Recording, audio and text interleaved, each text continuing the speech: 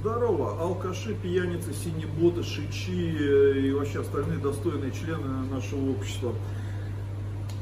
Я сегодня буду краток. Э, большие планы, пятница только начинается, а я хочу уже в 12 быть в полное очко. И я вам расскажу про один напиток, который позволяет э, плавно перемещать свое сознание от полного говна к почти трезвому и обратно. То есть это такой вообще как шикарный напиток. Это ликер, он называется самбука вот я уже рассказывал про всякие узы, раки, все напитки на основе аниса, они ну, довольно своеобразно имеют вкус. А, и самбук в этом плане не будет, скажем так, каким-то откровением, но у нее офигенная есть авторская подача. То есть, конечно, можно пить самбуку так же, как раки и там прохладную водичку вливать, водичка мутнеет, пьешь такой, типа, жажда не мучает, ничего не болит, но это все полная хуета, я вам так скажу. Значит, э, самбука это прозрачная жидкость, она бывает от 35 до 40 градусов. И, кстати, надо понимать, что горят вовсе не пары спиртов самбуки, а именно горят эфирные масла аниса. И горят они, сейчас увидите как. Итак, значит, что себя представляет подача? Берется вот такой снифер, или, как говорят э, добланы, вроде меня, коньячница.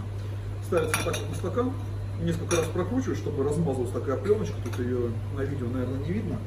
Туда забрасывается вот так вот несколько зернышек кофея. И все это дело поджигается при помощи зажигалки. Если вы понтуетесь, у вас зажигалка зипа, знаете, ей зажигать крайне неудобно. А вот обычный диковская вообще ништяк.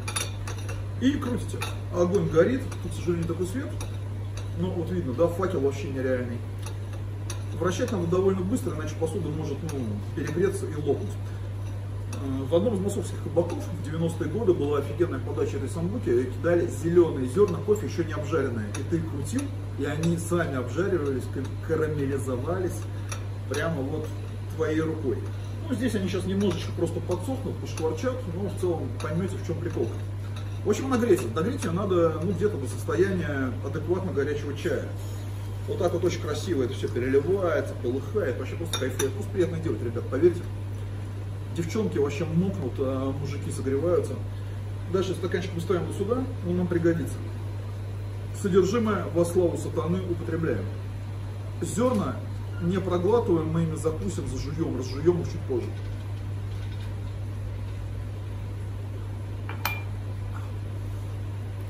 По вкусу напоминает микстуру петусина от кашля в советское время.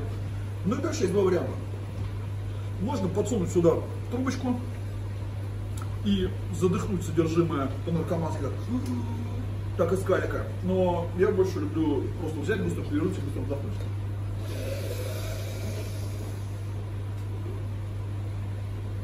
При простуде реально работает. Пизда полная, говорю, очень. И зажевано кофейными зернами.